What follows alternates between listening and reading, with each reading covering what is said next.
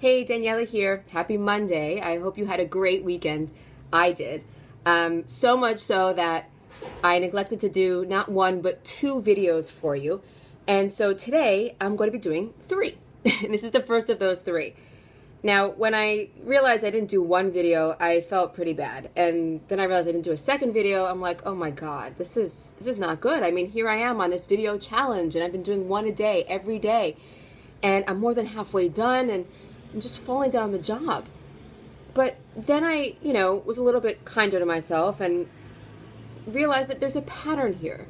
Every weekend, every Friday or Saturday, I start to feel a little bit more withdrawn I, I don't have that, that desire to put things out, to just be face forward, be active, to be creative, to just be totally full in the world.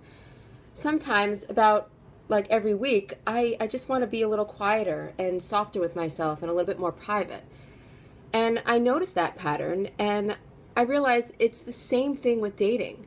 I mean, does that ever happen to you where a couple weekends will go by and you'll be dating. You'll be having like three dates a weekend, maybe like coffee, dinner, meeting a lot of people, and you're on, you're on, you're on, you're just meeting everybody, and it's great.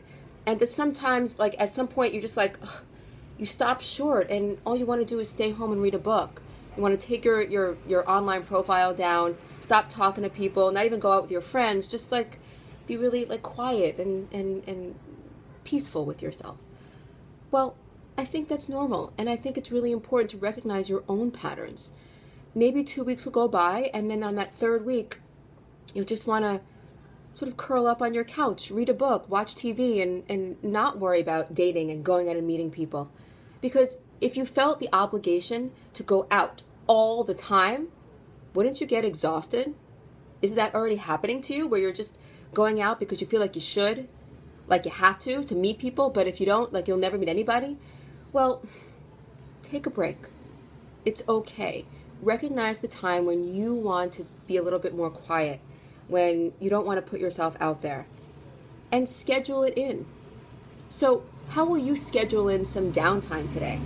I know it's it's Monday, so we're all thinking about the stuff that we got to do, but maybe schedule in for the week, for the month, when you're going to go a little bit quiet, when you're not going to worry so much about meeting people and getting out there and just taking some quiet time for yourself. Okay, I hope that helps you. I can't wait to hear you in the comments, and I will see you later on today. okay, bye bye.